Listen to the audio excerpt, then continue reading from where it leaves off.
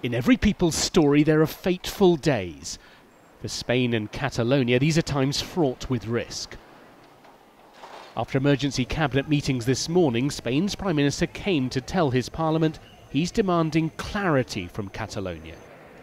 The question did the document signed yesterday by the separatist leader amount to a declaration of independence or not? The answer given by Mr. Puigdemont will determine what happens next. In his hands lies either re-establishing the rule of law, as everybody is asking him, or continuing the instability, the tension and the divisions in Catalonia.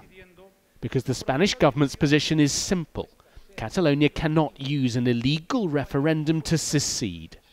And if Catalonia does try to split away, Mr Rajoy told Parliament, he'd begin moves to impose direct rule on the region next week.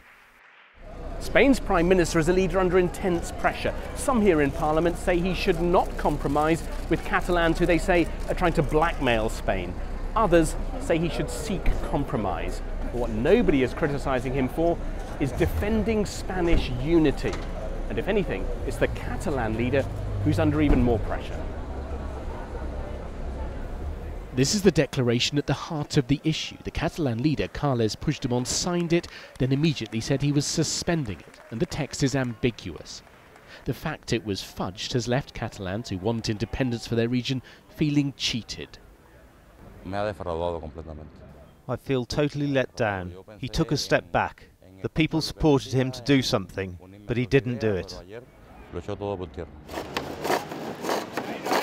In Madrid, tomorrow is Spain's National Day, preparations for the parade. Across the capital, those opposed to Catalonia breaking away are flying the national flag. And in an office high above the parade, they were hanging theirs out.